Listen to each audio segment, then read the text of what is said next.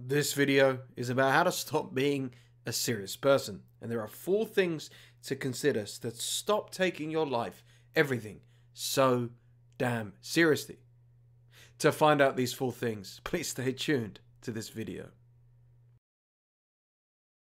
Welcome to the SCG Show, the home of education entertainment. And please do me a favor, if you really enjoyed this video, smash that like button. I would really appreciate it. How would you describe a serious, uptight person? A person who is grave, humorless, long faced, pensive, sober, solemn, stern, thoughtful, unsmiling, to name a few. Does any of what I've just said resonate with you? Have people often accused you of being too stiff and serious? Do you have no idea how to truly express yourself without feeling anxious? Of course, there are some things we must take seriously. When my dad died, I had to take that seriously. When he was dying and ill, and I had to call an ambulance, of course, I had to take it seriously. I wasn't exactly dancing to some music or doing cartwheels. I took it seriously. So there's a time and a place for serious. But to be a serious person about almost everything? Just the other day, a friend of mine refused to come out for a drink with me and some other friends. Because get this, he said, I have to speak to this girl I'm seeing to keep her happy. Jesus. Even texting has to be serious. What has the world come to? Then I had another female friend who, get this, cannot go out for a meal without her laptop in case she has to do some work. I refuse to eat with her now, as she always brings the laptop and opens it up and types rigorously away when we're in the middle of a meal. This is on her days off, with no deadlines at all. It's a mess. There is a seriousness pandemic going on. People even take social media too seriously. A very vain and narcissistic man I once knew of told me he must take 100 selfies of himself and edit it in the right way before he would publish it. He's not famous, not an influencer, just a regular guy with like three, four hundred followers. Give me a break. Look, I'm not saying act like a buffoon or a clown, but for goodness sake, people, let's loosen up a little bit here. Life is too short. Just lost my father, God rest his soul. Here is how to stop being such a serious person. For the love of God, please stop taking dating so seriously.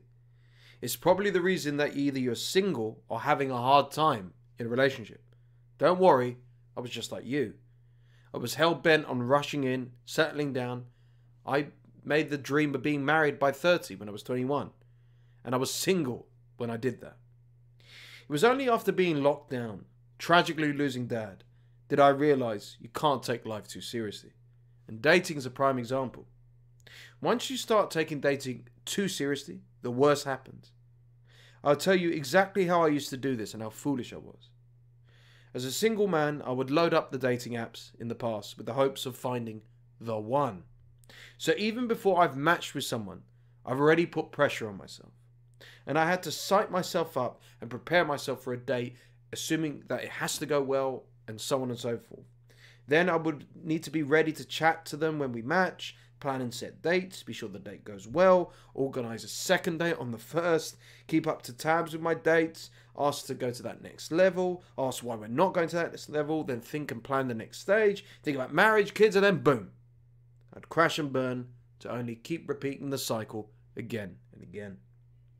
For men, this is so unattractive a quality to come across to women.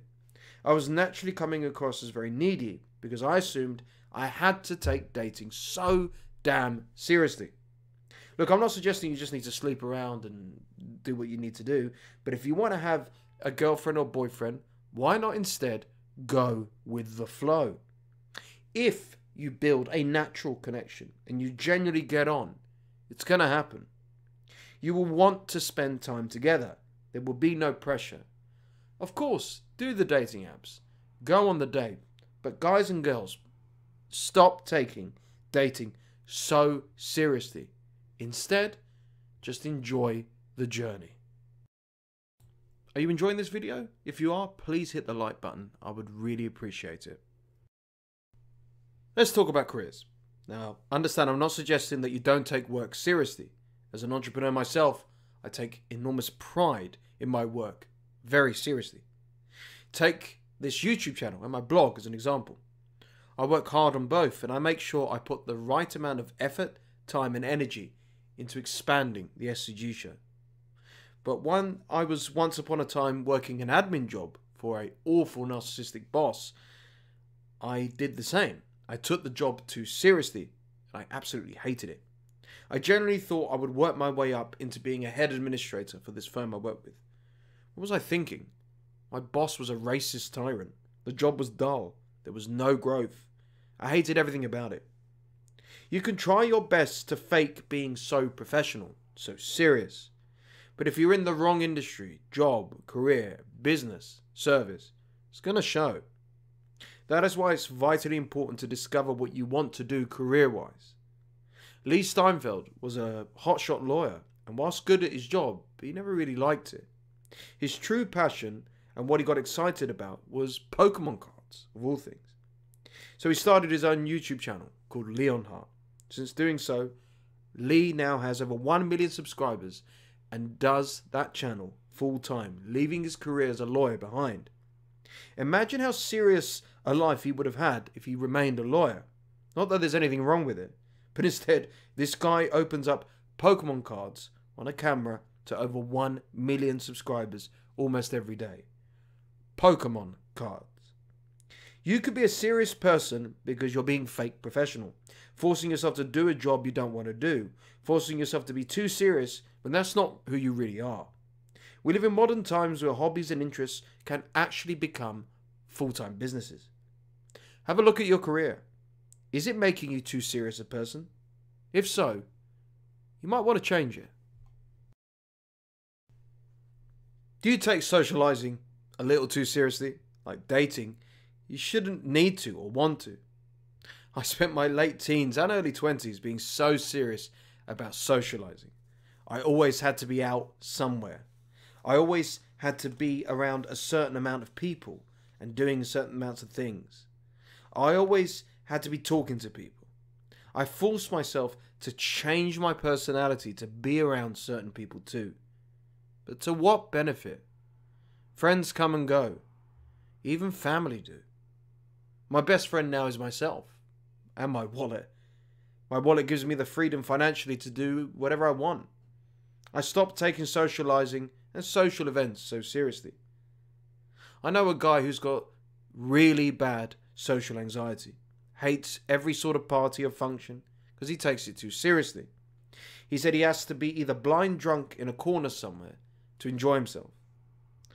I finally confronted him on this, and he admitted to me I don't want people to think I'm lame. Who cares? I mean, seriously, who cares what these other people think? He did not want to be at these parties and events anyway, yet he forced himself to act serious in a desperate attempt to be accepted and come across cool. See the irony there? Do what you want socially, guys. Go where you want. Enjoy yourself. Make friends and associate with people who genuinely want the best for you.